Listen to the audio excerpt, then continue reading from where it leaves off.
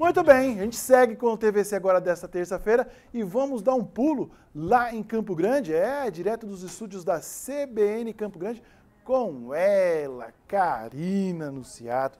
Muito bom dia, minha amiga, novamente. Já participei hoje pela manhã via telefone com a CBN Campo Grande, mas agora ao vivo aqui pela TVC HD, os destaques de Campo Grande. Seja bem-vinda.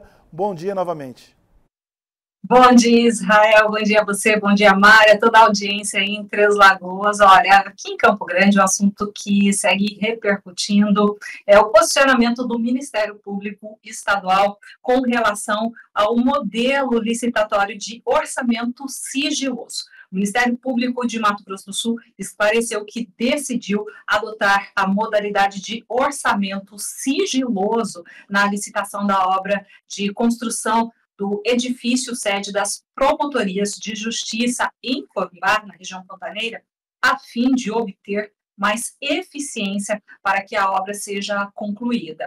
A construção do edifício sede do órgão na comarca de Corumbá foi licitada pela primeira vez em 2016 e por duas vezes as empreiteiras vencedoras do processo desistiram de concluir a construção alegando prejuízos financeiros. Duas contratações com inúmeros e reiterados descumprimentos por parte dos licitantes que abandonaram a obra, diz o MP, que rescindiu os contratos de forma unilateral.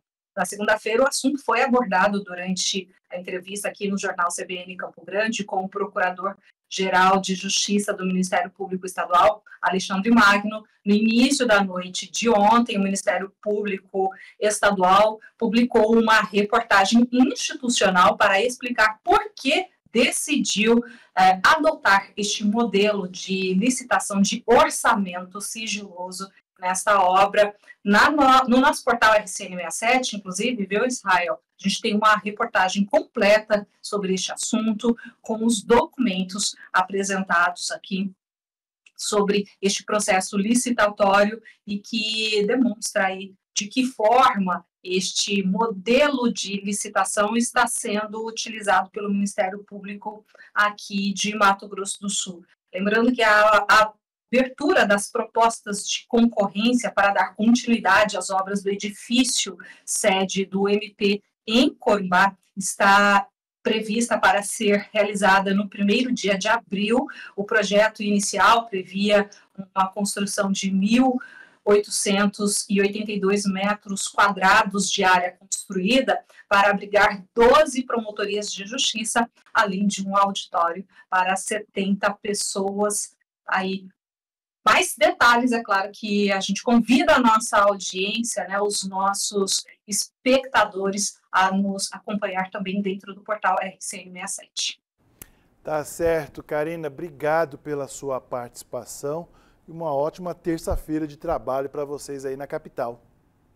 A todos nós. Muito bem.